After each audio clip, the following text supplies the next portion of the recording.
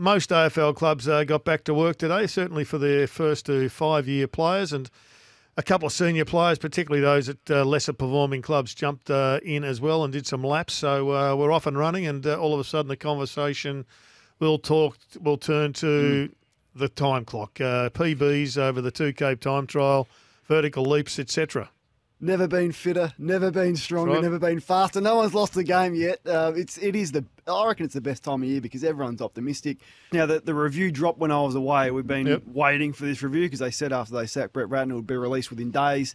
It, it, struck me. Uh, look, I thought it was vague, and I suspect that was to uh, protect the reputation of Brett Ratten. Although reading between the lines, it was pretty scathing on him.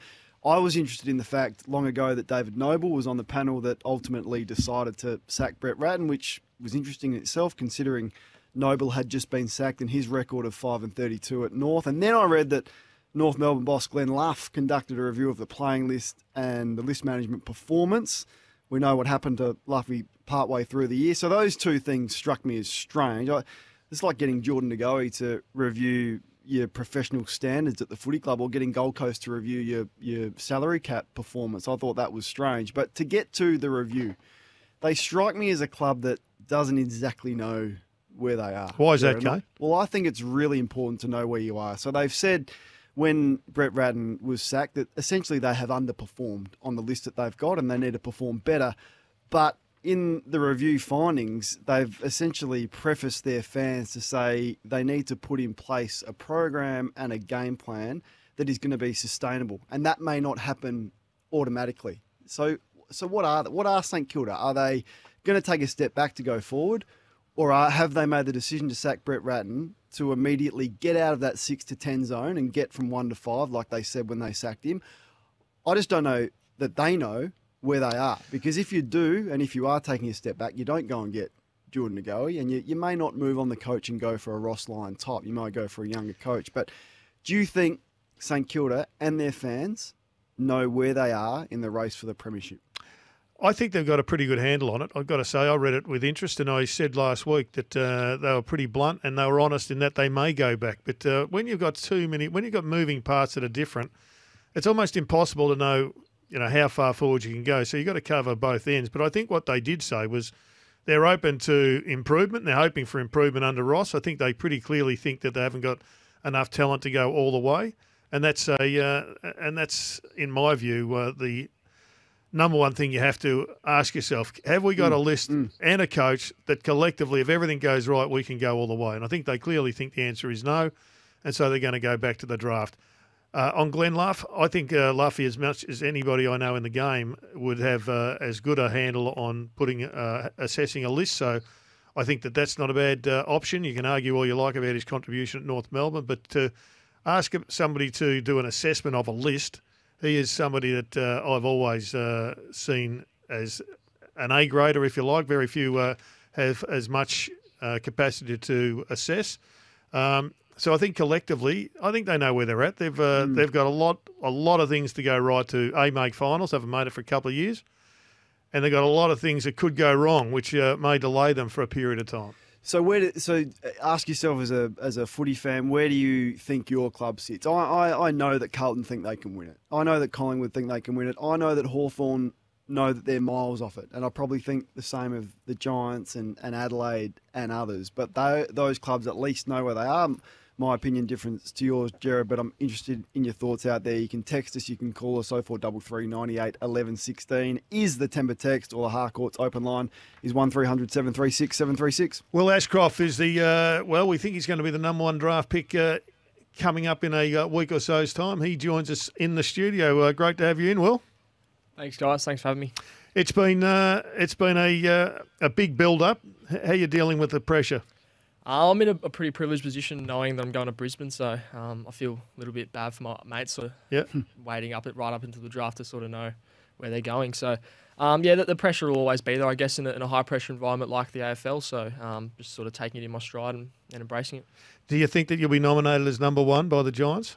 I'm not sure. I'm I'm hopeful, but um, I guess all AFL clubs uh, have their own agendas and, and want to do what's best for their club, and I respect that. But uh, I guess I've sort of just done everything in my power this year to prepare myself the best and, and be the best player in person. So um, I've sort of done everything I can, and uh, yeah, it's up to other clubs to sort of decide what's best for their footy club. So is that important to you, Will, to be the number one and the first player called next Monday night? Uh, it'd be nice, but I don't think uh, it's the be all end all for me. I've sort of said that across the year. Um, I think I've potentially done enough to be uh, in that position, but if it doesn't happen, then um, yeah, as I said, AFL clubs have to do what they have to do to um, yeah push them forward. So yeah, I'm I'm just glad that I'm going to Brisbane and um, just really looking forward to starting the pre-season. Um, to be honest. You mentioned you're in a privileged position. Uh, how much communication and contact have you had with the Lions this year, or have they largely left you to your own devices to get everything in order um, that you needed to in your uh, personal and schooling life? No, they've been really good. I think um, they've had a little bit of impact and um, yeah, sort of, but sort of held off a little bit to make me allow me to make my own decision. Um, I only made it probably halfway through the season, so I was I was lucky enough to train with them last preseason and get a pretty much an AFL preseason under my belt, which was uh, I was very grateful for. And then um, yeah, now sort of made the decision. I spent a week up there a couple of weeks ago now and um, sort of saw the new facility and, and, met a lot of the coaches or saw a lot of the coaches and, and players again. So um, they've been really respectful across the whole process. What's your hopes for uh, the Lions next year? All of a sudden, you've got a couple of other midfielders uh, joining the gang. Yeah, they are. They're looking very good. I think. Um, yeah, Dunkley, Gunston, um, Jasper Fletcher, another draftee. Um, just to name a couple. So yeah, they're looking really good. It's going to be a very competitive side to sort of get into, which is which is nice. Um, so yeah, really looking forward to the challenge individually, and um, yeah, it's just an awesome club to be a part of, and, and really looking forward to it. So we're hearing you're going to make an instant impact, which is great. Whose spot you going to take? uh, that's up for Fags to decide, I think. But um, no, I'm just looking to put my best foot forward, and um, yeah, hopefully, hopefully that can start uh, as, as soon as, it, as I possibly can. And when do you head up? Uh, a couple of days after the draft, so yeah, a bit of media and stuff. A couple of days after, yep. and then sort of straight into it, which I'm keen to. Do you feel there's pressure on being number one because you may be nominated as number one? I mean, the Giants may nominate you uh, just to make Brisbane pay a few more points, uh, but there's still another view that they may elect to keep the number one nomination and uh, be able to promote the fact that they've got the number one player around the country or around New South Wales, which I'm not sure I'm a, a huge supporter of, given the pressure it can build. Yeah, it's, there's definitely a lot of uh, pressure um, around the number one draft pick, but um, as I sort of mentioned before, I'm just embracing the pressure that's going to come with it, and um, if it's one or, or after that, then uh, nothing will change in my process. So, um, yeah, I'm just yeah, no matter where I fall, I'm just looking to prepare myself to um, sort of come in and, and do the best I can from from day one every elite player in the competition has has a weapon. Now we read about you, ball magnet, um, essentially can play inside, outside, midfield. But in your eyes, what is your biggest strength as a player? What's going to be your weapon? I think um, I think just my burst away from the contest. I think I've really developed that and, and transformed that into a strength. Um, yeah, like my contested games, um, I think yeah pretty good, and, and there's, there's areas I can work on there. But I think um, yeah, where I think I can sort of separate myself from others is, is yeah, just the, the speed away from the contest. Who's got the best burst away from the from the uh, stoppage at the moment in the game? There's a lot. There's a lot of good players. I think hmm. someone who's emerged, Chad Warner. I've started Warner to be one. Look, mm. look at a bit of his uh, his vision. He's been incredible from that aspect. Um, so he, he's definitely one. Oliver. Yeah, he's, he's, he's certainly built it, that in him. He used to be a quick hands man, but yep. uh, now he looks like he's getting on his bike. So it can be trained, which is the the, the great thing about it. Were you, were you, as a kid a burster, or were you a first possession giver? I try to keep balance between the two and, and just sort of read the game as it comes. Um, I've always been pretty quick and, and tried to keep developing that uh, as I go, but uh, there's also a time and a place to, to give the handball off into someone into a better position. So, yeah, bit of both. Such an important draft for, for a lot of clubs. So, take yourself out of it. If you were selecting with pick one in the draft and, and once again take yourself out of it, who would you pick? Who's the best player that you've played alongside of or against this year? Yeah, I'm probably a little bit biased, but Harry Sheezel, who I've played with a lot this year in, in Sandy Dragons, uh, Vic Metro, and, and the Australian Academy. So I think just seeing what he does firsthand uh, in games and, and at training and, and, what he's like off the field as well, he's, he's an incredible player in person. So um, yeah, he's gone to a lot of great things in the league. Uh, your players come in and you, you want to find your feet, you want to earn the respect of your teammates, get a game, experience that. Very few come in with a desire to win a premiership straight away. I reckon maybe Selwood, I've, I've seen it from, and maybe a handful of others. Now, you weren't born when Brisbane won their last premiership, which your dad played, you know, in, in 2003, one of his three. Does the premiership drive you yet, or for you are your goals about doing what I said uh, moments ago, earning the respect and getting a game and finding your feet, or is it premiership success that drives you now? No, definitely early on, just thinking about the first day, um, how, how, how I'm going to earn my respect on my coaches and my teammates, and, and, just taking it day by day, week by week, and, and sort of building on it. Um, I think, yeah, obviously the Lions are probably in the premiership window and, mm. and have brought in a lot of great players and are looking pretty good over the last couple of years. So um, I think yeah, it sort of looms there a little bit. But uh, for me personally, coming in, I haven't yeah haven't played an AFL game yet, so I wouldn't be looking ahead to that. I'd mm-hmm. just be thinking about yeah coming in um, and doing all the right things, and, and then hopefully getting a game and going from there. You had uh, obviously the choice to go north, or you could put yourself into the draft. One of the issues bubbling around uh, the draft at the present time is whether or not first or draftees should sign more than a two-year contract basically to tie them to a club for say three to four years, which the Players Association have railed against. I can see a lot of positives in it. Um, what's your thoughts on it? If you had to sign one, you'd have to sign it. But mm. if you were advising, would you would you see it as a major negative?